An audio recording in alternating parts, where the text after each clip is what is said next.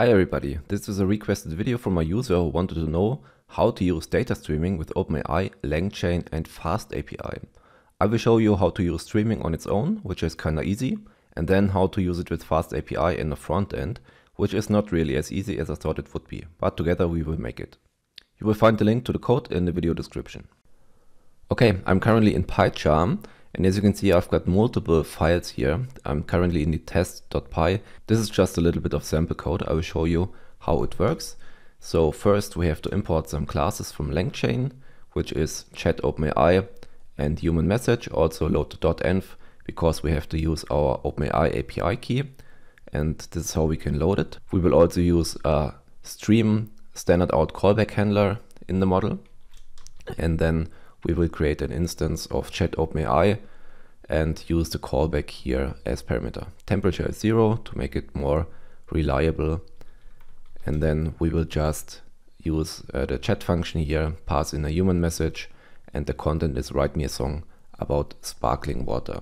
If you run that, let's do it, python test.py, we can see that we make a request and that the model should then return uh, a song about sparkling water. Okay, that took some time, but as you can see, this uh, is the response. And this was of course not streamed. If we want streaming, we can just pass in the parameter streaming and set it to true. Standard is false. And as you can see now, the text is generated token by token. So we don't have to wait for the model to actually create the whole text, but we get it sent back uh, bit by bit. So that's basically it. You just have to set streaming to true to make it work just with OpenAI. And now we will take a look at FastAPI.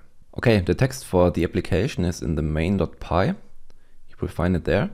What we first have to do is we have to import some classes, of course, and we have to import the async iterator callback handler now, not the normal stream callback handler, because we will actually use that to yield the token and we of course use the chat OpenAI model and human message to actually send one message to OpenAI. So a very basic endpoint, but it shows how in general streaming with FastAPI works.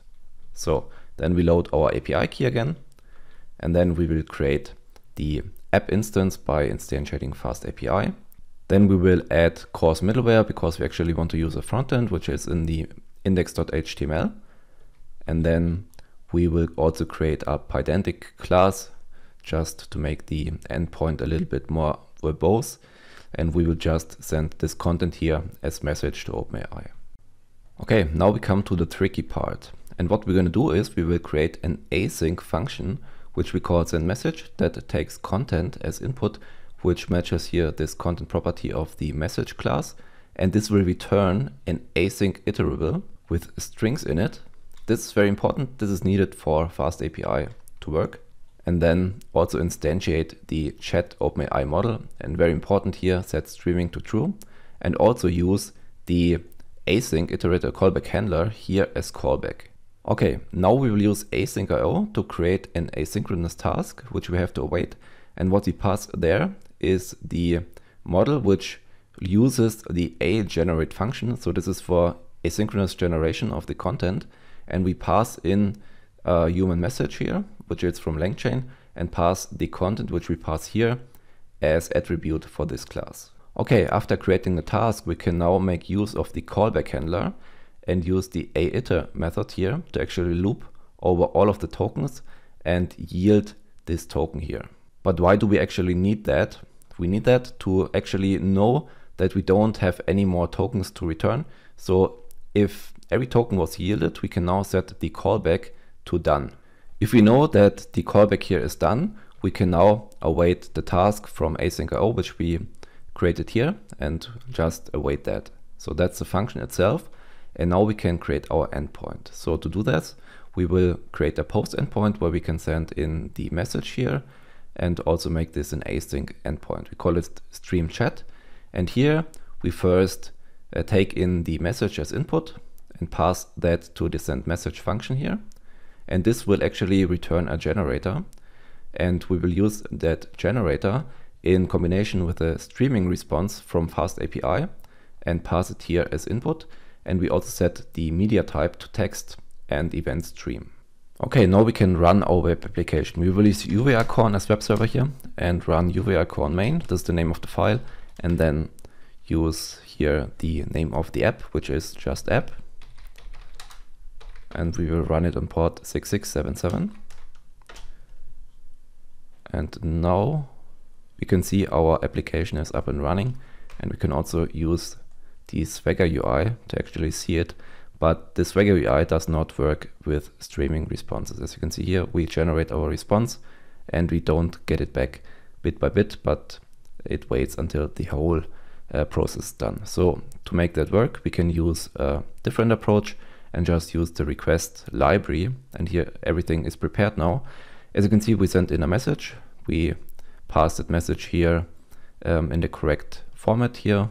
Content is the attribute of this class here. And we send it with a post method here to this URL. We pass in the data as JSON and set stream to true. Now we can loop over the chunks bit by bit. So let's try that out. Text test stream.py. If you're interested in making that work on a website, we will take a look now at the index.html and how that is structured. Okay, let's take a look at the index.html. And as you can see here, this is just a little bit of HTML and I will not walk you through in that detail because that's actually, yeah, it's JavaScript code and uh, my projects are more about Python and LangChain. So I'm just gonna show you what I'm gonna do here. We will create a message which will be attached to a button which will be triggered when we click on it. So this will make a post request and we will send the value which is inside this text input field here. So this will be sent to OpenAI. So we make this post request here to localhost. I can see that's the wrong port. And yeah, the stream endpoint, we will send again the body as JSON and the content here is the message, which is the content here of this text input field. So to display that token by token, we use the get reader functionality here, and we also use the text decoder and then just loop over the result here. And if we don't have any more tokens, we will return the function. And if we have tokens, we will decode the token first. So, and then we will check if the token is a stop a symbol like a dot, an exclamation mark or a question mark. And if that's the case, we will trigger a new line with the br tag and also pass in that token to the inner HTML. So we will update the DOM for each token. And yeah, that's it. Of course, that's not the most robust solution. Normally you would use a, let's say a framework which is able to handle that in a better way, but for a prototype, that's fine. So let's change the port here to 77 to make it match our API. And now let's have a look at the front end. So this is the front end we can now just ask, how are you? To test that. And here you can see this is streamed. Um, maybe write about sparkling water to make a little bit more text content. And yeah, that's how streaming works. And as you can see, here's a question mark, so we create a new line and this works pretty nice. So yeah, that's it. That was the project. And if you liked the video, feel free to subscribe to my channel and like the video, of course. Thank you very much. Bye bye.